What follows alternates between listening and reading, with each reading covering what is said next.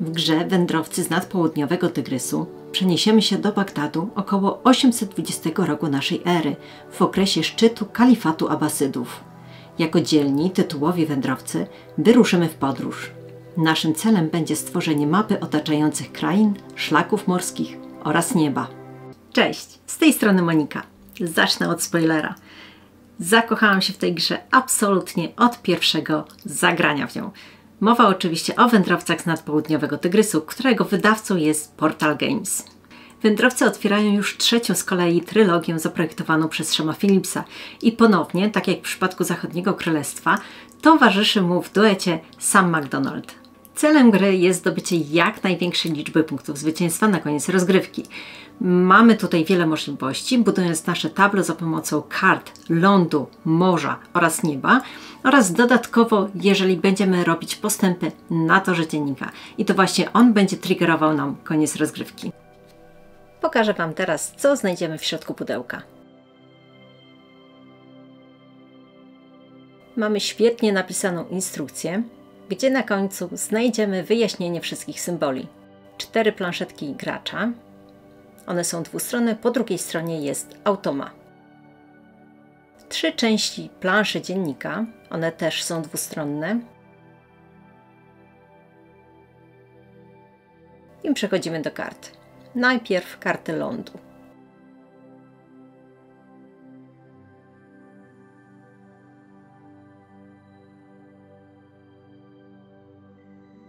karty szlaków morskich,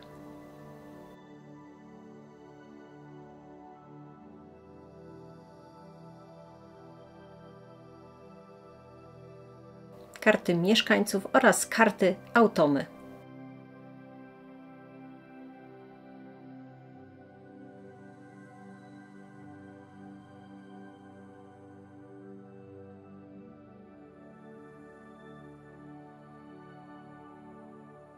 karty inspiracji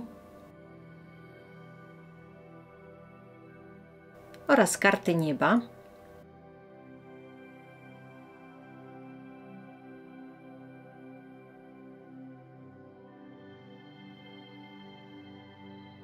Znaczniki ulepszeń. One będą w różnych kolorach. Oraz znaczniki, które będą nam pomagały zdobywać bonusy na planszy dziennika.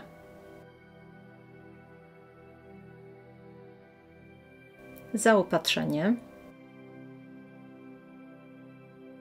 pieniądze, zielony robotnik, bardzo tutaj chodliwy, no i zestaw gracza.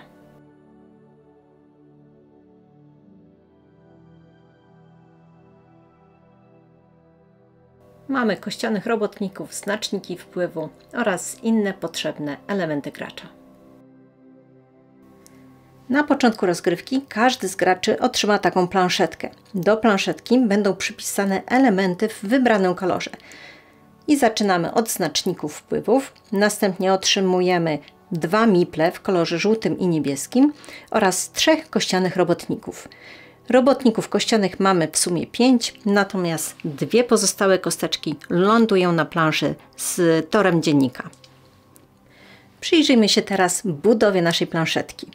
Na samej górze mamy tutaj informację, jak będzie wyglądała punktacja końcowa za zbudowane tablo. Poniżej mamy obszar karawany. Obszar ten jest różny u każdego gracza na każdej planszetce. Oznacza to, że rozkład poszczególnych bonusów, które są tutaj, jest różny. Natomiast na samym początku każdy gracz będzie miał aktywne tylko dwie ikonki z wielbłądem oraz, oraz z lunetą, które będą przypisane do ścianek o jednym oczku i z sześcioma oczkami. Powoli tą naszą karawanę będziemy ulepszać, czyli poszczególne wartości na ściankach będą nam pomagały wykonywać akcje w obszarze naszego tablo i będziemy to robić za pomocą żetonów ulepszeń, które powoli będziemy tutaj układać. Zakrywając poszczególne tutaj symbole, będziemy otrzymywać właśnie takie bonusy. Poniżej mamy tu już obszar zagranych kart, gdzie będziemy mogli wykonywać akcje, czyli akcje z wielbłądem, akcję z łódką oraz chwili, kiedy będziemy wołać naszych wszystkich robotników z planszy. No i mamy tutaj pierwszą kartę nieba, która będzie mogła nam dać punkty końcowe, o ile spełnimy warunek na koniec gry.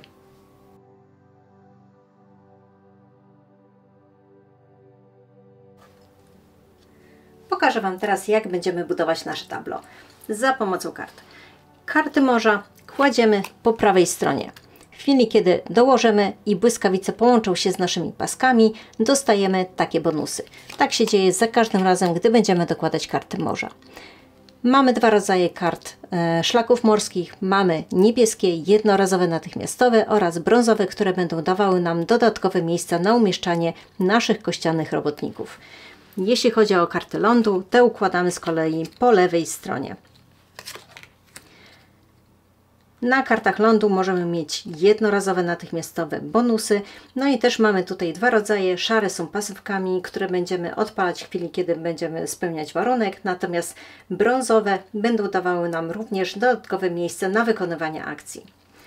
Kolejne karty to karty mieszkańców. Możemy mieć tutaj dwa rodzaje. Mogą to być karty, które dadzą nam bonusowe jakieś e, surowce, czyli w tym przypadku zaopatrzenie, ale również mogą to być takie, które będą dawały nam symbol konieczny do spełnienia warunku położenia tam kości, e, czyli naszego robotnika. Czyli jeżeli taką kartę bym podłożyła tutaj pod kartę lądu, miałabym już spełniony warunek, czyli każda dowolna ścianka mogłaby być tutaj położona. Natomiast tego, robot, e, tego mieszkańca mogę położyć w dowolnym miejscu, które jeżeli odpalę tutaj działanie, no to dostaję tutaj dodatkowy bonus w postaci zaopatrzenia. Jeśli chodzi o karty nieba, te z kolei muszą być ułożone albo nad kartami szlaków morskich, albo nad lądem. Zasada jest taka, że one nie mogą być w powietrzu, czyli żeby je w ogóle móc położyć, musimy mieć jakąś podbudowę. No i karty nieba dają nam dodatkowe punkty zwycięstwa, o ile oczywiście spełnimy warunek na koniec rozgrywki. Ostatnim rodzajem kart są karty inspiracji. Te z kolei będą dawały nam podwojone punkty zwycięstwa z kart nieba, które wybierzemy, o ile również spełnimy wymaganie.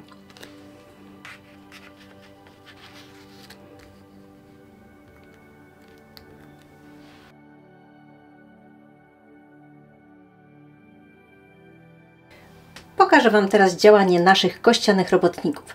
Powiedzmy, że właśnie takie ścianki mi wypadły podczas rzutu.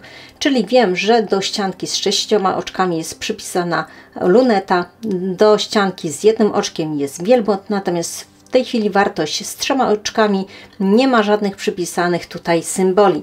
Oczywiście w trakcie rozgrywki możemy to zmienić dokładając żetony ulepszenia, czyli w tym przypadku przypisałam do mojej trójki symbol okrętu, który w tym momencie mogę wykorzystać na tych dwóch polach. Więc wykonując swoje akcje, czyli mam szóstkę, która jest tutaj lunetą, mogę ją postawić na lunecie i odpalić jakąś akcję, która jest tutaj przypisana. To samo dzieje się z jedynką, czyli jedynka jest wielbłądem. Mogę postawić tutaj i wykonać akcję. Jeśli chodzi o trójkę, mam tutaj dwie możliwości. Mogę przypisać do pola ze statkiem, do pola bez żadnej wartości oraz tutaj, ponieważ mam już spełniony warunek tutaj postawienia kosteczki, czyli w tym momencie mam symbol ptaka, więc również mogę wykonać tę akcję. No ok, teraz już wiemy jak działają kości, natomiast do czego są nam potrzebne miple.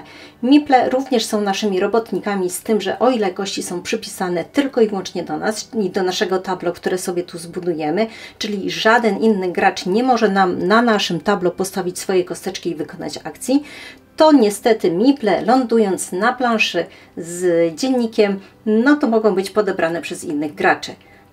W swojej turze mamy trzy możliwości wykonywania akcji. Możemy wysłać mipla na planszę z dziennikiem do wykonywania akcji, możemy wystawić kosteczkę i wykonać akcję przypisaną do pola i trzecia możliwość jest to odpoczynek, czyli zbieramy nasze kostki i je przerzucamy.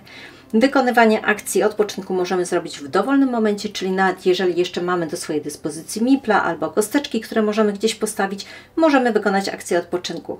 Natomiast w chwili, kiedy wykonamy akcję odpoczynku, kiedy mamy albo zero możliwości, albo jeden mipel, albo jedną kosteczkę, no to odpalamy tu dodatkowe akcje, które są właśnie przypisane do akcji odpoczynku. Jeszcze raz chciałabym podkreślić, jaka jest różnica pomiędzy kościanymi robotnikami a miplami. Kościanych robotników nikt nam nie zabierze. Natomiast wysyłając miple na planszę dziennika, nie mamy pewności, że one do nas wrócą.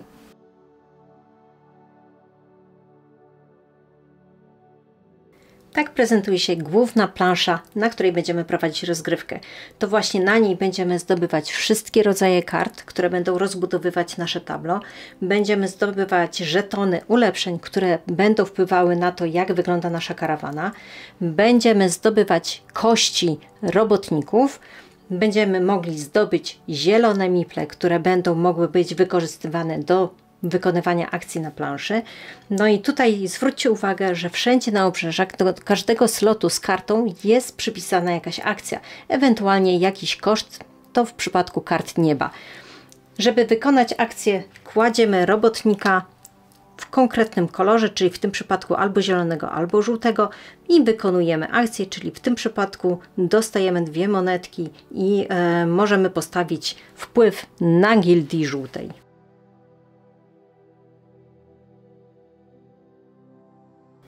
Skupmy się teraz na centralnej części planszy. Jest to nasz dziennik, gdzie będziemy prowadzić zapiski. Dziennik przede wszystkim służy nam po to, żeby sprawdzać na jakim etapie jest gra, bo tak jak mówiłam, w chwili kiedy pierwszy znacznik jakiegokolwiek gracza dojdzie do jednego z tych pól, odpala się koniec gry. Natomiast w trakcie tutaj przejścia przez cały, e, cały ten tor będziemy mogli zdobywać po pierwsze zielone miple, o ile jeszcze będą na tych polach. Będziemy zdobywali bonusy, e, które są tutaj albo w sposób randomowy na kafelkach rozłożone, albo tutaj nadrukowane. No i w tym momencie na samym początku nie mamy żadnych wymagań, żeby przejść, czyli możemy w dowolny sposób wybrać, w którą stronę pójdziemy. Natomiast jak widzicie, w z każdym kolejnym krokiem tak naprawdę mamy już wymagania, które musimy mieć, żeby zrobić postęp na torze dziennika.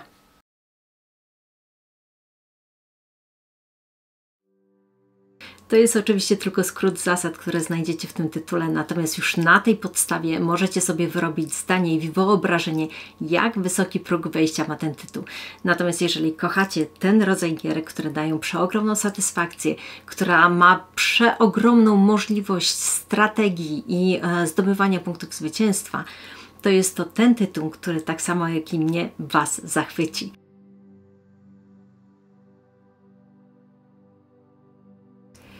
Tej grze zachwyciło mnie naprawdę bardzo dużo aspektów. Zaczynam od tego, że spodobało mi się, że mamy tu dwa rodzaje robotników. Mamy kości, które są tylko i wyłącznie do naszej dyspozycji, czyli nikt nam ich nie podbierze, ale mamy również pulę mipli, które wysyłając na planszę główną, nie mamy już gwarancji, że do nas wrócą. Bardzo fajny zabieg. Bardzo mi się podoba pomysł rozwoju naszej karawany. Startujemy z dwoma symbolami, natomiast w trakcie rozgrywki, zdobywając żetony ulepszeń, możemy doprowadzić do tego, że zlikwidujemy całkowicie losowość, bo owszem, mamy tu kości, którymi rzucamy, natomiast w chwili, kiedy tak sobie zbudujemy naszą karawanę, że każda ścianka będzie nam przynosiła możliwość wykonywania akcji, w tym momencie ta losowość jest tak naprawdę na znikomym poziomie. Rzeczą, która mi się bardzo podoba, jest to, że nie mamy tutaj narzuconego z góry limitu rund, które musimy rozegrać. Bardzo fajne jest to i z punktu widzenia doświadczonych graczy możemy tutaj sterować długością rozgrywki.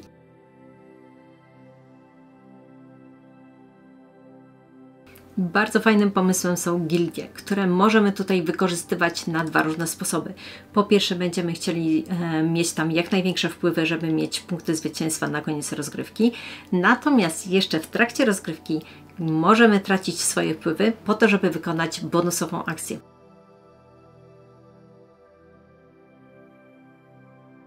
Bardzo lubię gry, w których mamy budowę silniczka i tutaj oprócz tego, że właśnie budujemy swoje tablo, budujemy ten silniczek, który pozwala nam boostować akcje w trakcie rozgrywki, to jeszcze ta budowa tablo przynosi nam punkty zwycięstwa na koniec gry, czyli takie podwójne znaczenie tego, co zbudujemy. I ostatnią rzeczą, o której chciałabym wspomnieć, to jest spójność ikonografii z poprzednimi trylogiami. Mamy oczywiście tutaj pulę nowych symboli, które się pojawiły i które trzeba opanować, natomiast bardzo mi się podoba, że utrzymano właśnie spójność z poprzednimi. No i na sam koniec chciałabym Wam powiedzieć o dwóch takich małych minusikach, które znalazłam w tym tytule. Pierwszy minusik to jest stołożerność. Jak zaglądamy do pudełka, to ta gra w ogóle nie wygląda na taką, która by mogła pochłaniać aż w taki sposób stół. Natomiast okazuje się, że zbudowanie planszy głównej, otoczenie jej kartami, no i budowa własnego tabla powoduje, że ten stół jest po prostu pożarty, więc może się okazać, że stół, który ma, macie w domach, jest niewystarczający do tego, żeby rozegrać partię w tę grę. No i drugim minusikiem, który może odstraszyć niektórych graczy jest ogromna liczba symboli, która może przytłaczać. Natomiast jeżeli uda Wam się przebrnąć przez tłumaczenie, przez czytanie instrukcji, może się okazać, że jest to ten tytuł, na który bardzo długo czekaliście, który da Wam przeogromną satysfakcję i frajdę z rozgrywki.